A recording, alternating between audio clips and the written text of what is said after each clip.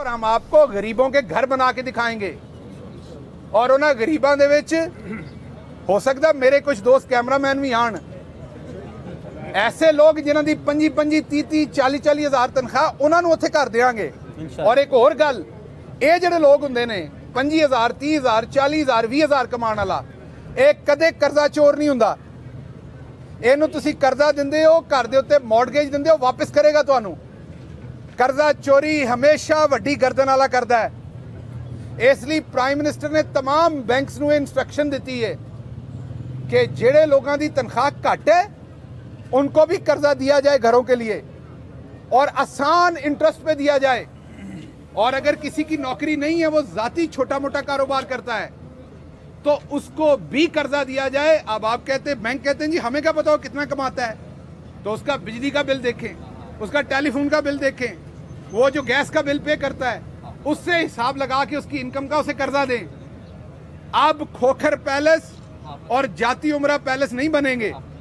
अब गरीब का घर बनेगा जिसका वादा करके खान आया था फर्क सिर्फ एक है ਵਾਅਦੇ ਸਾਰੇ ਕਰਦੇ ਸਨ ਖਲੋਤਾ ਮਰਦ ਦਾ ਬੱਚਾ ਇੱਕ ਹੀ ਹੈ ਮੇਨ ਵਾਅਦਾ ਤੁਹਾਡੇ ਨਾਲ ਇੱਕ ਸੀ ਔਰ ਉਹ ਸੀ ਕਿ ਨਾ ਚੋਰਾਂ ਦੇ ਨਾਲ ਹੱਥ ਨਹੀਂ ਮਿਲਾਵਾਂਗੇ ਮੇਰੇ ਖਾਨ ਦੇ ਉੱਤੇ ਜਿਹੜੀਆਂ ਰੋਜ਼ ਬਕਵਾਸੀਆਤ ਹੁੰਦੀਆਂ ਨੇ ਅਟੈਕ ਹੁੰਦੇ ਨੇ ਸਾਡੇ ਵਰਗੇ ਉਹਦੇ ਅਦਨਾ ਕਾਰਕਨ ਜਿਹੜੇ ਇੱਥੇ ਝੂਠੇ ਪਰਚੇ ਔਰ ਝੂਠੇ ਮੁਕਦਮੇ ਫੇਸ ਕਰਦੇ ਨੇ ਆਪਣੀ ਹਕੂਮਤ ਹੁੰਦੇ ਹੋਏ ਇਸ ਗੱਲ ਦਾ ਸਬੂਤ ਹੈ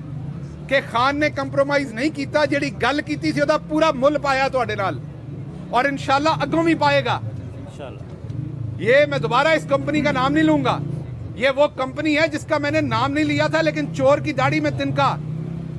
ਤਿੰਨ ਅਸ਼ਾਰੀਆ 80 ਡਾਲਰ 1 ਕਿਲੋਮੀਟਰ ਦਾ। ਇਹ ਕਿਰਾਏ ਦੀਆਂ ਬੱਸਾਂ ਨੇ ਸਾਰੀਆਂ, ਮੈਟਰੋ ਦੀਆਂ। ਤੁਹਾਡੀਆਂ ਨਹੀਂ ਹੈਗੀਆਂ।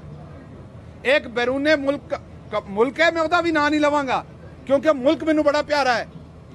ਉਸ ਮੁਲਕ ਨਾਲ ਸਾਡੀਆਂ 100 ਸਾਲਾਂ ਦੀਆਂ ਦੋਸਤੀਆਂ ਨੇ। ਪਰ ਹਰ ਮੁਲਕ ਦੇ ਵਿੱਚ ਹਸੈਨ ਹਕਾਨੀ ਤੇ ਹੁੰਦੇ ਨੇ ਨਾ। ਉਹ ਸਾਡਾ ਮੁਲਕ ਹੋਵੇ ਜਾਂ ਕੋਈ ਹੋਰ ਹੋਵੇ, ਮੀਰ ਜਾਫਰ, ਮੀਰ ਸਾਦਕ ਹੁੰਦੇ ਨੇ ਨਾ। ਉਹ ਸਾਡਾ ਮੁਲਕ ਹੋਵੇ ਜਾਂ ਕੋਈ ਹੋਰ ਹੋਵੇ,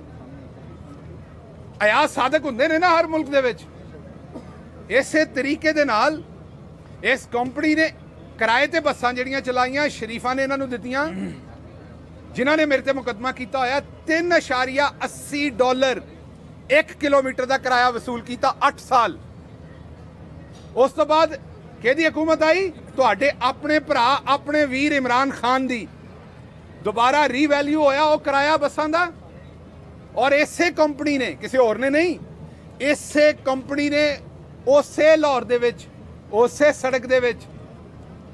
उसी शहर में उसी सड़क पे उन्हीं बसों के साथ जो बसें चलाई वो तीन अशारिया अस्सी डॉलर फी किलोमीटर पे नहीं एक अशारिया छियासी ਡਾਲਰ ਫੀ ਕਿਲੋਮੀਟਰ ਤੇ ਇਹ ਜਿਹੜਾ ਉੱਤੇ ਵਾਲਾ 1.94 ਡਾਲਰ ਫੀ ਕਿਲੋਮੀਟਰ ਸੀ ਇਹ ਤੁਹਾਡੇ ਪਿਓ ਕੋਲ ਜਾਂਦਾ ਸੀ ਜੇ ਉਦੋਂ ਮੁਨਾਫਾ ਸੀ ਤੇ ਅੱਜ ਘਾਟਾ ਕਿਉਂ ਪਾ ਰਹੇ ਹੋ? ਅੱਜ ਅੱਜ ਜਿਹੜੇ 340 350 ਜਾਂ 320 ਰੁਪਏ ਦਾ ਫੀ ਕਿਲੋਮੀਟਰ ਘਾਟਾ ਕਿਉਂ ਪਾ ਰਹੇ ਹੋ? ਅੱਜ ਅੱਧੀ ਕੀਮਤ ਤੋਂ ਵੀ ਘੱਟ ਤੇ ਕਿਉਂ ਚਲਾ ਰਹੇ ਹੋ? ਕਿਉਂਕਿ ਹੁਣ ਇਮਰਾਨ ਖਾਨ ਆ ਗਿਆ ਉਹ ਦੇਗਾ ਕੰਨ ਦੇ ਥੱਲੇ,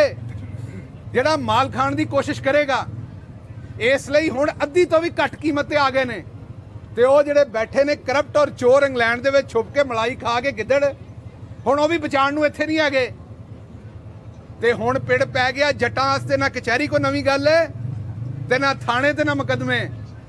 ਜੱਟ ਦਾ ਪੁੱਤ ਹੈ ਤੁੰਨ ਕੇ ਰੱਖਾਂਗਾ ਤੁਹਾਨੂੰ ਮੈਂ ਇਹ ਗੱਲ ਦੱਸ ਦਿਆਂ ਜਿਤਨੇ ਮੁਕਦਮੇ ਕਰੋਗੇ ਉਤਨੀ ਆਵਾਜ਼ में इजाफा होगा आप बल्कि मेरी मदद कर रहे हैं मेरी ट्रेनिंग कर रहे हैं बहुत सारी चीजों की आप देख लें कि हमारी बहनें हों या हमारे भाई हों हम शाना बिशाना खड़े हैं